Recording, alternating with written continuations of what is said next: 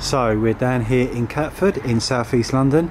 This is another project we've just completed. Um, so what we've basically done on this project is we've brick cleaned all of the brickwork back to its natural colour.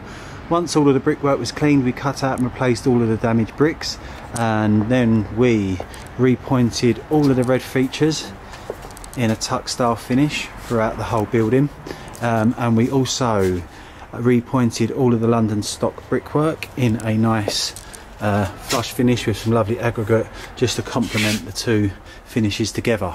So I just had the windows cleaned today, hence why you can see some damp patches on the brickwork. So they've also we've also decorated all of the stonework in a nice Farrow and Ball um, colour.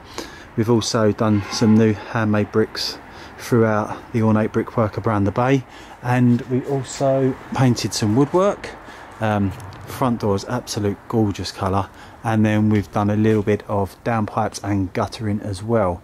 So this is another beautiful transformation. So if you like the look of this and you want a free quote for any of our services that we offer give us a call get in contact and we'd be more than happy to assist you with any further inquiries that you do have.